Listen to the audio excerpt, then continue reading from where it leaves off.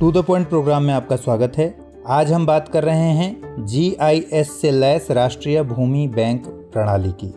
सबसे पहले देखते हैं यह चर्चा में क्यों है। हाल ही में श्री पीयूष गोयल ने भारत के भूमि संसाधनों का डेटा बैंक लॉन्च किया है। यह डेटा बैंक जीआईएस यानी जियोग्राफिक इंफॉर्मेशन सिस्टम से लैस है। इस पूरे सिस्टम को जीआईएस से लैस राष्ट्रीय भूमि बैंक प्रणाली नाम दिया गया है। जीआईएस से लैस राष्ट्रीय भूमि बैंक प्रणाली के बारे में जानते हैं। यह देश के भूमि संसाधनों का व्यापक रिकॉर्ड है। यह सिस्टम औद्योगिक सूचना प्रणाली और राज्यों की भौगोलिक सूचना प्रणाली के एकीकरण के ज़रिए विकसित किया जा रहा है।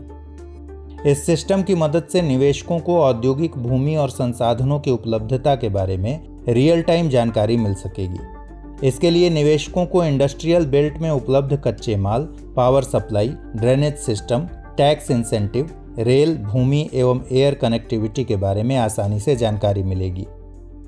आईआईएस पोर्टल पर अलग अलग राज्यों में उपलब्ध औद्योगिक क्षेत्रों का जीआईएस से लैस डेटाबेस है।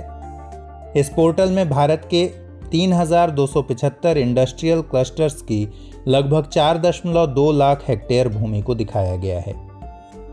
इसमें से लगभग 1.13 लाख हेक्टेयर भूमि निवेशकों के लिए उपलब्ध है। यह प्रणाली अभी अपने शुरुआती चरण में है। समय के साथ राज्यों से प्राप्त फीडबैक के आधार पर भूमि को चिन्हित करने एवं खरीद के लिए अधिक सक्षम व पारदर्शी बनाने के लिहाज से इसे विकसित किया जाएगा।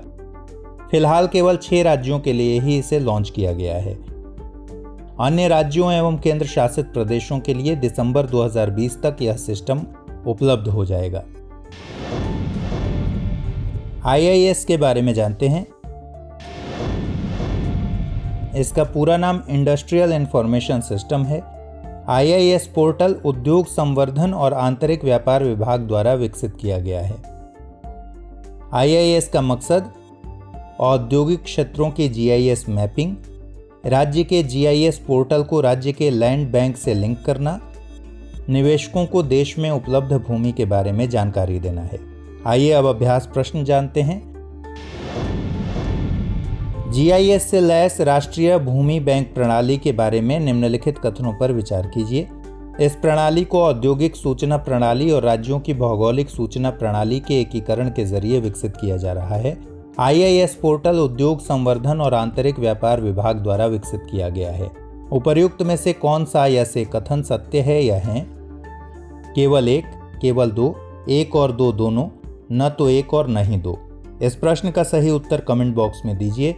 अगले एपिसोड में फिर मुलाकात होगी। तब तक के लिए ख्याल रखिए। Good bye.